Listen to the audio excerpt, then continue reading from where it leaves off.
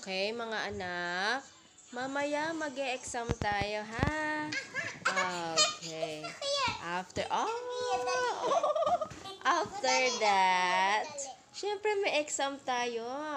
Oo, ha? Spelling tayo mamaya, ha? Alright, alright. Okay, sige, sige. Oh, mga anak.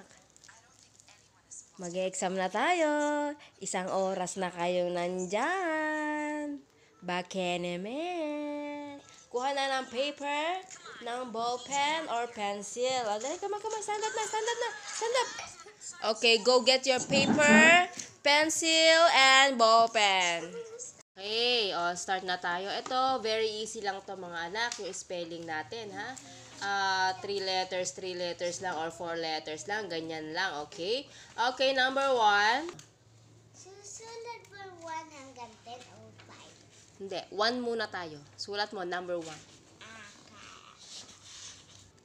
Number one, cat.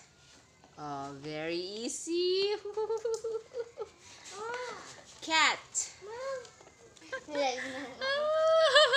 Ay, nangopya.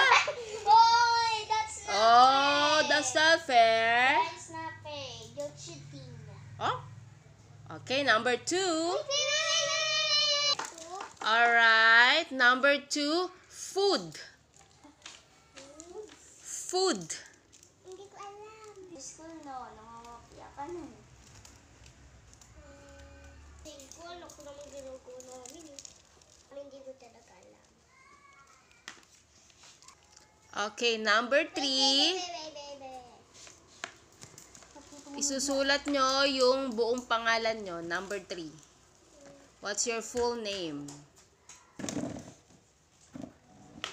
Number 3, isulat ang buong pangalan, your full name. O ano yan? Manonood mo na nga ako. O, finish na. Number 3. O sige, sulat mo yung pangalan mo, number 3, your full name. Dali lang 4, ay 3. Ma, yung konti. Hindi pangalan. Totoo pangalan. Oy, exam tayo ah. Number 4 na. Ano yan? Number 4.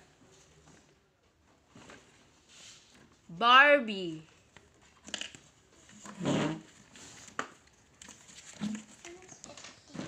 A. R B I? Yan tayo eh. I. Yung may tul-. Oh, tapos letter E. A B C D E. Next number 5. Teacher. Number 5, teacher. Okay, perfect. Ayan, okay. Good job, good job.